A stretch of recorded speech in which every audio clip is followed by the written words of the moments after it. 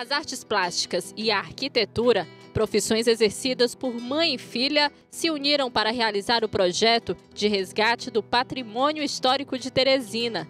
Com fotografias garimpadas em arquivos públicos e particulares, Marisete Pacheco produziu 30 quadros retratando pontos frequentados pela sociedade décadas atrás.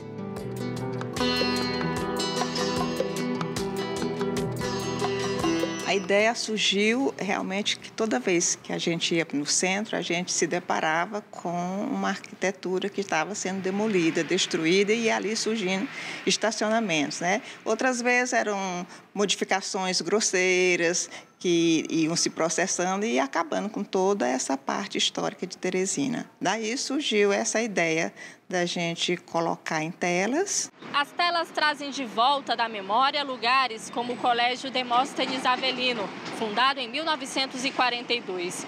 Do antigo prédio, que fica nesta esquina na Praça do Fripisa, restou apenas a fachada do sobrado.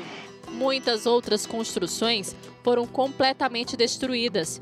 A pesquisa feita por Patrícia Pacheco garante um registro para o futuro. É importante porque a gente está se perdendo. Então, cada dia que passa, a gente perde mais uma edificação, a gente fica sem história.